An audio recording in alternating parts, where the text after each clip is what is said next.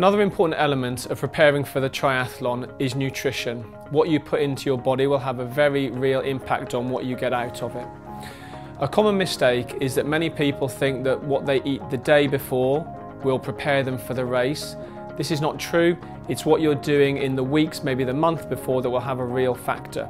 So a diet that is balanced in carbohydrate, protein and fat will allow you to get the best out of your training and prepare you for the race day.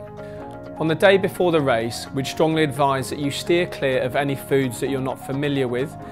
Also, spicy foods, foods high in fibre and alcohol.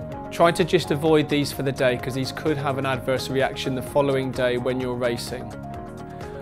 On the morning of the race, you're thinking about breakfast. We'd advise you that you eat foods that you're familiar with. Don't overeat and try and think about foods higher in carbohydrate that are going to give you energy for later on in the day. If you are going to have tea or coffee, try and make sure that it's first thing in the morning and then after that point, just water or a sports drink, gradually sipping at it until you get to the race is the best advice. When it comes to race day nutrition, we'd advise that anything you're going to use, you've used in training.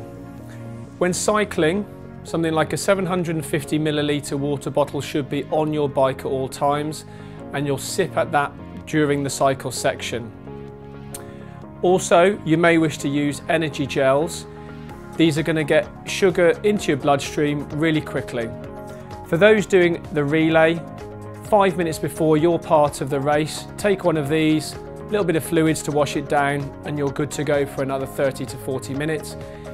If you are doing the whole race on your own, then you're going to need to practice using these throughout the cycle and also possibly the run.